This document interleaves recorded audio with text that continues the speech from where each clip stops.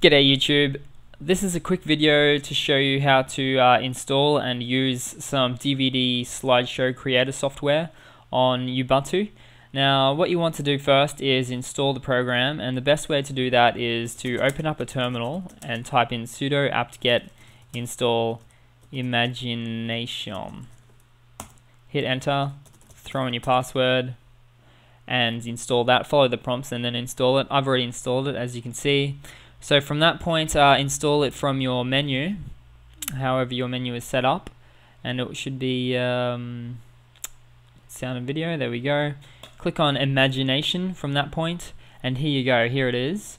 Now, this does create uh, lots of different types of slideshows, but particularly it uh, it seems to specialize in DVD slideshow creation. So what you want to do is uh, create new slideshow with that button there and you'll see the different types of uh, video formats you can use. But just stick with VOB which is DVD and depending on the TV you'll be using it on uh, that might be pretty standard right there 720 by 480 most TVs these days use either NTSC or PAL anyway so that should be fine. You can even go to high def which would be great as well. Um, and then just press OK from that point now this little icon here lets you import the images that you would like to use on the slideshow. I've only got two random ones there. It's not a great example, but we'll keep it at that for now.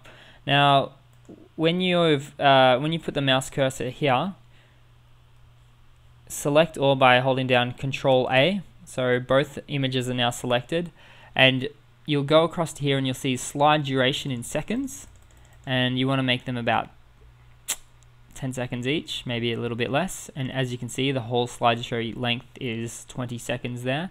And transition type too, this is uh, the really fun bit. You can press random or you can uh, choose how you want them to slide across. There's about, you know, 20, 30, 40 examples here and they're all quite cool. Having a look at them, that looks alright. So I'll use that one.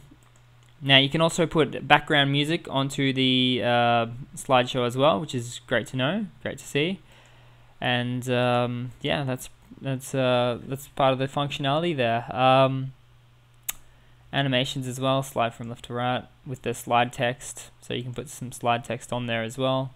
Always fun.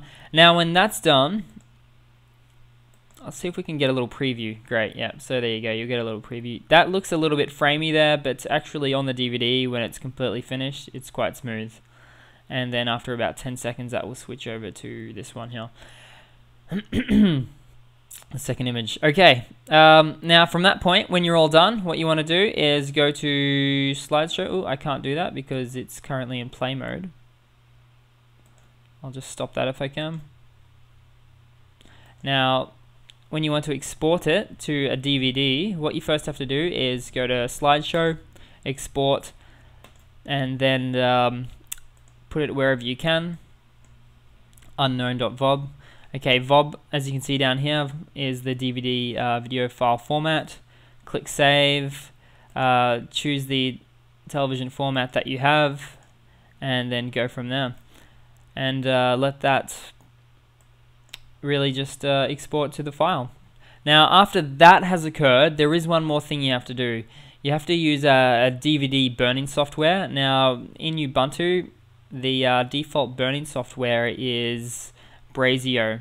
So what you need to do is open up any DVD software and essentially burn that image there. But uh, burn it as a video project and uh, drag the new uh, VOB file, which you will see right here on the desktop, unknown.vob. Drag that in to Brasero as a video file and it will burn it as a DVD. And there you go, presto magic you have your DVD slideshow to send to your family or whoever. Alright, uh, that's pretty much it, and I hope that's been of some help for you guys. Cheers.